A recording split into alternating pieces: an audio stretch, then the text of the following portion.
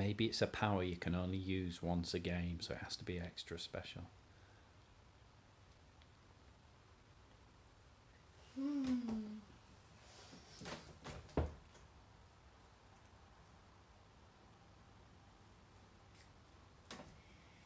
Uh, I'm gonna try and think of one of these, but better. Okay. Well, you can think of that for next game. So, was that fun? Now I know what I want. Oh, you know what you want? Um. So like, I can turn like so pe so I, you know, like in Lego game, Lego video game, Mm-hmm. when you press Y, and then they swap, and then you swap characters Yeah. like that. Yeah.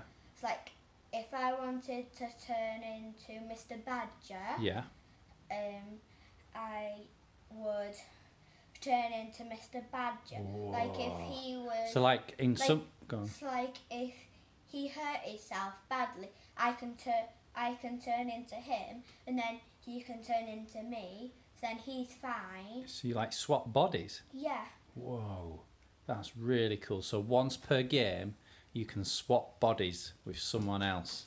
Yeah, and maybe we'll get a D twenty out for that one. So that sounds really cool. So did you enjoy that game? yeah, Yeah. Was it easy to play? yeah. I had, I had to think of some decisions. Yeah.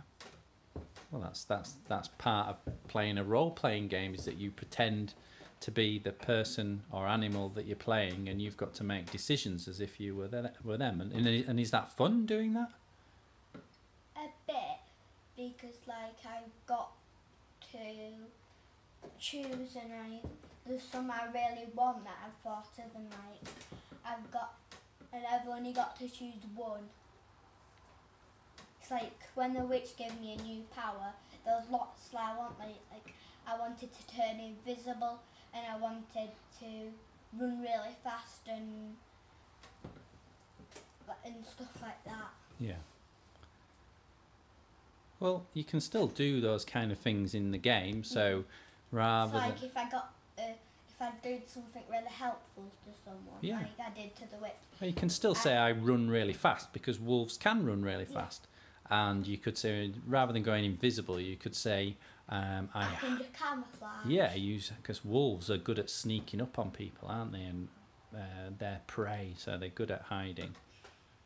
So that was fun. Would you uh, recommend Amazing Tales? Yeah. yeah, Play it again sometime. Yeah. Good. How many um, stars out of five would you give Amazing Tales for children your age? Mm,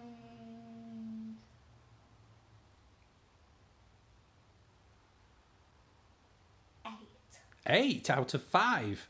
That's that's that's like more than five. So you really enjoyed it. Yeah. Yeah. Um, well, that's great. So, um, do you want to say bye to everyone who's watching?